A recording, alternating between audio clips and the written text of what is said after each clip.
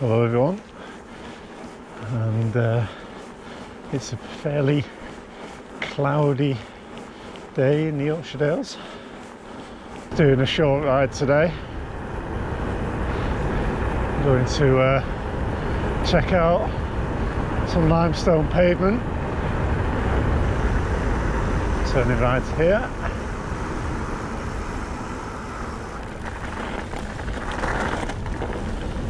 And uh, up above us to the left is Twistleton Scar. It's a big limestone outcrop near uh, Ingleborough, just above Ingleton.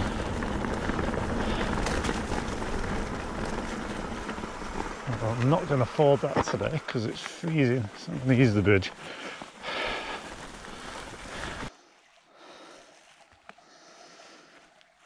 Pretty. This valley is called Kingsdale. And you can't see it but up in the clouds there is Whernside, and then Twistleton Scar just kind of runs out here. And then this this stream here is um, the one which uh, drops down into Ingleton Falls. So if you've ever done the famous Ingleton Falls walk this is the the stream that feeds into that. And you've got some more limestone uh, outcrops up there and there's a good bridleway that runs across the top of that as well actually. You have to kind of do a bit of a hike-a-bike to get up to it um, past a cave.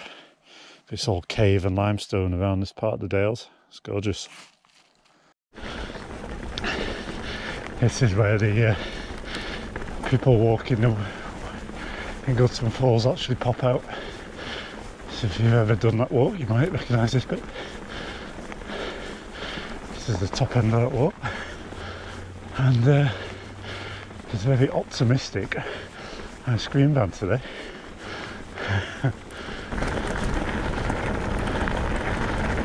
thank you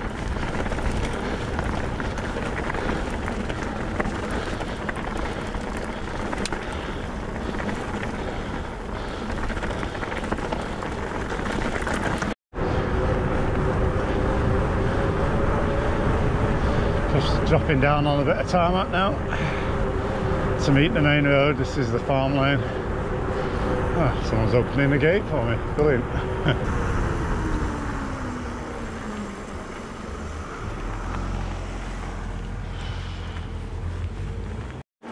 yeah, just choosing um, a fairly easy, steady ride today. Nothing technically difficult.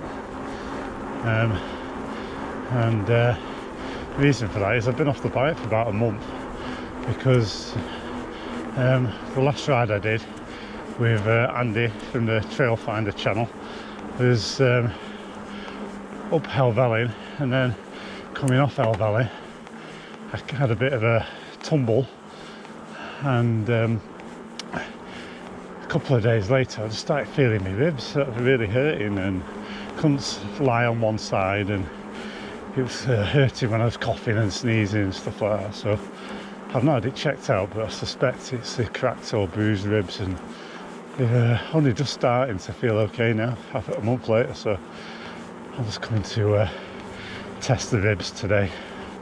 Nice steady ride. All the sheep in front heading somewhere. Got the farmer up the hill on a quad above me. They're all running a line in over there.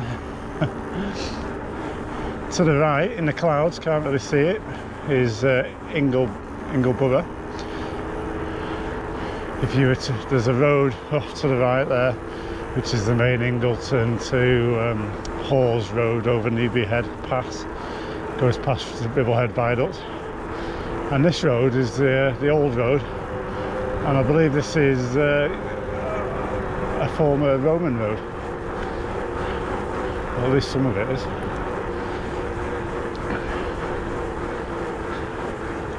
We're just going below the uh, the scar now. I'm going to be up there later.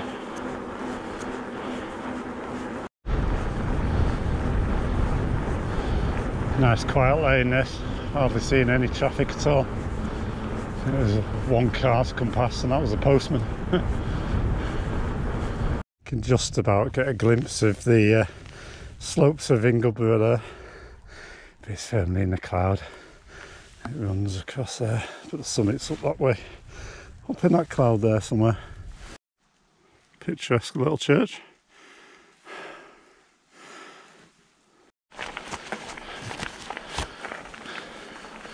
Fairly steep climb.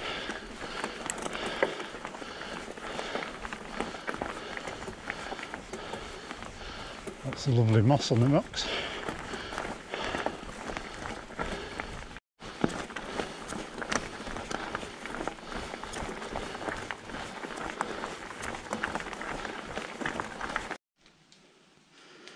Unusual statue, don't if you can make that out.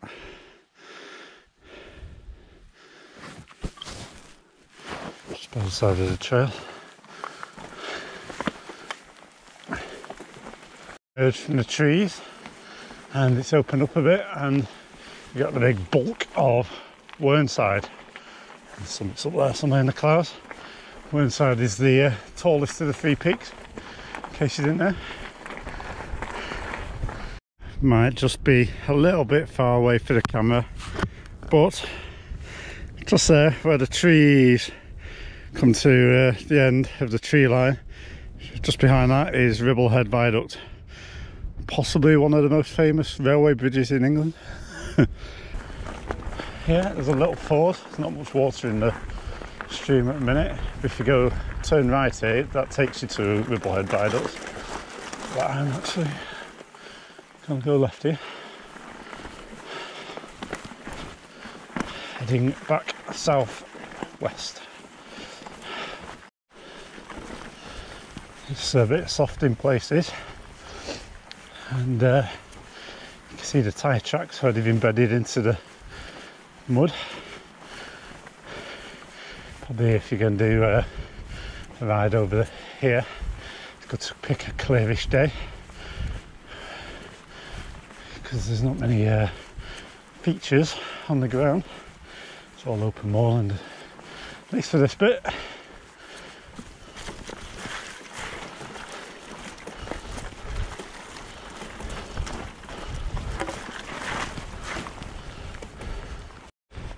If you go uh, in this direction heading southwest then it's uh, an ever so slight climb most of the way up and you get a descent off the scar at the end. Whereas if you come the other way you get a steep climb at the beginning and it's ever so slightly gradual downhill all the way back down this way.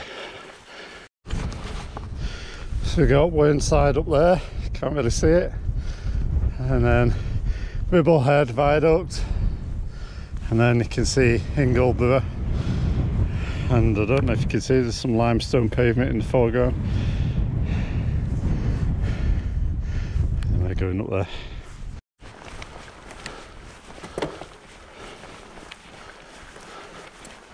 It's been a uh, fairly dryish week so the ground's not too bad imagine it getting quite squelchy um, in wetter periods. But it's uh, running quite firm today, just a few soft bits, a few puddles.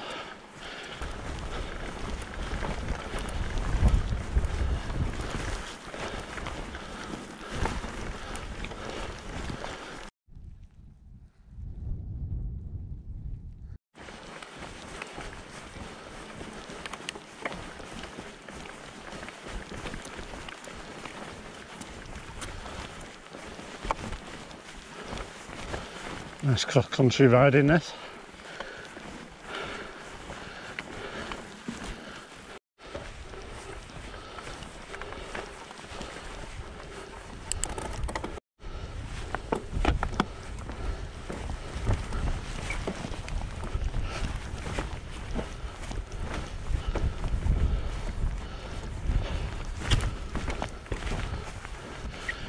It's a bit of a maze trying to follow the line of the path through all this limestone. Seems to be lots of different options take you off in different directions, trying to work out which one's the right way. There's a big boulder on the horizon, I'm aiming for that.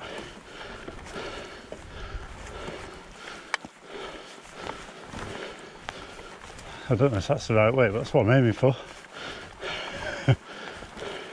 There's that big boulder I was looking for.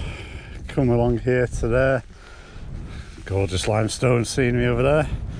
And then the path seems to follow through those boulders. They look like they've been positioned as waymarkers at some point. God knows how old or how long they've been there. And then we're heading to where there's some people walking on the distant horizon. I think that's probably Scar End and the path down will be around there somewhere. Going through those waymarker boulders.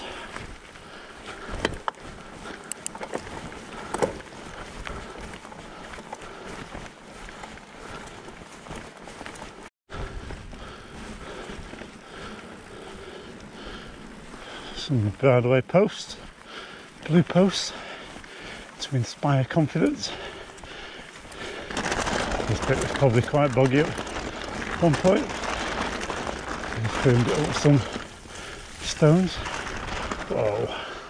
Hang on a minute, let's have a look at this. One thing you have to be careful in this neck of the woods.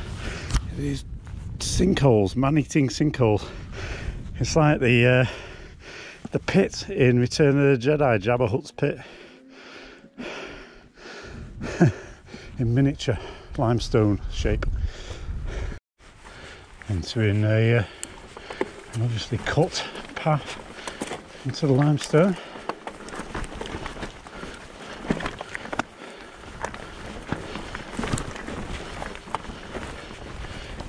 Perhaps a pack horse cut or for mining the limestone. Don't know. Guessing. Looks man-made though. Quite old. And it is pretty treacherously slippy.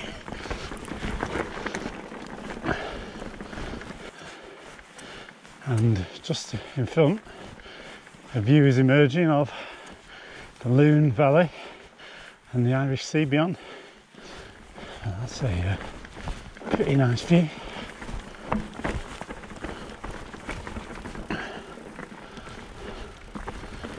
Careful on this limestone.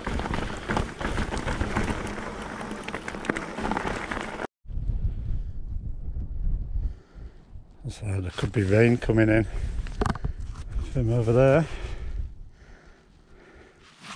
See the sea. The River goes down there somewhere. More limestone over there on the next fell.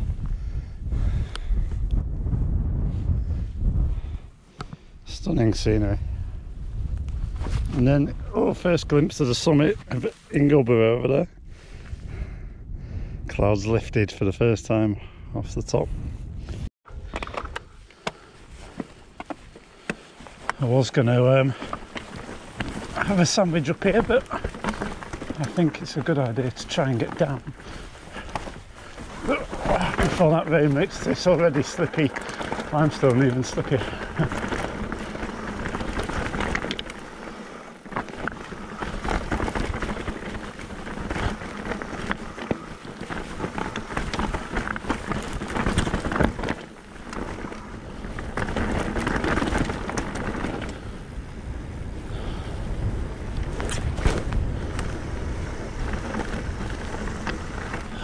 just don't have any confidence in this stuff.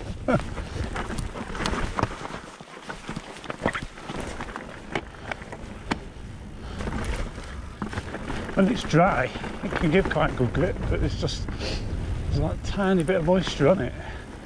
it shines it.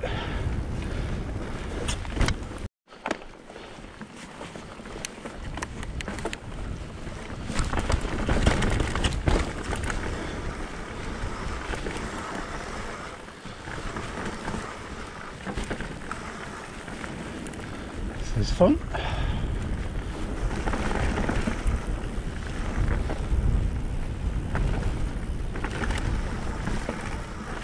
Just need to be really wary on this stuff, particularly with crack ribs. suspected crack ribs.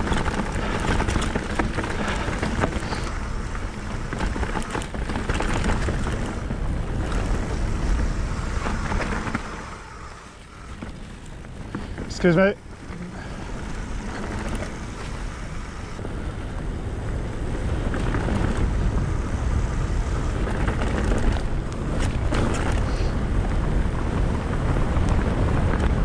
Smooth on this bit.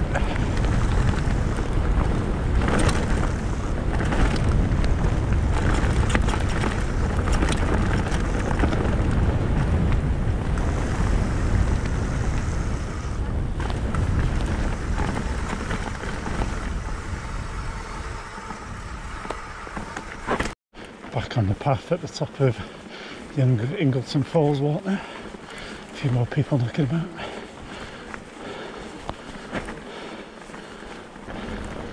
There's the uh, Ingleton Falls walk.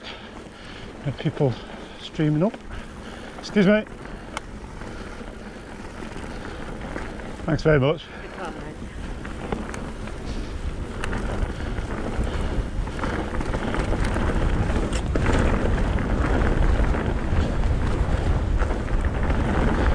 Nice byway.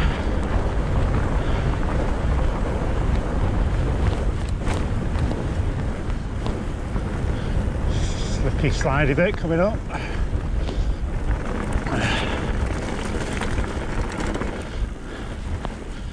And we're back at the uh, river. Still not going to afford it.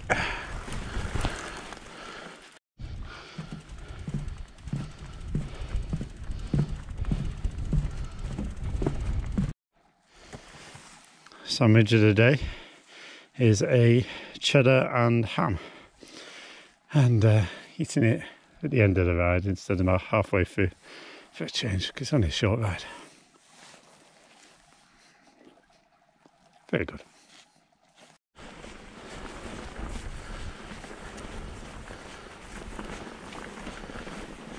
The blue sky there now. Oh, where that's come from. Just climbing back to the car now. The end of the ride. The ribs feel okay. Um, bit wary of going over anything slight and dicey, but he felt okay, no real issues. So that's a good sign. I think I'll just uh, maybe do one more, two more steady rides like this. That, gives him a bit more time to heal, and then I'll be away again, hopefully. So uh, thanks for watching again. Hope you enjoyed it, and uh, see you next time.